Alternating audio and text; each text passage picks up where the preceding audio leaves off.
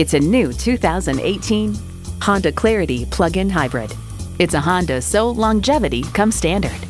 It's equipped for all your driving needs and wants.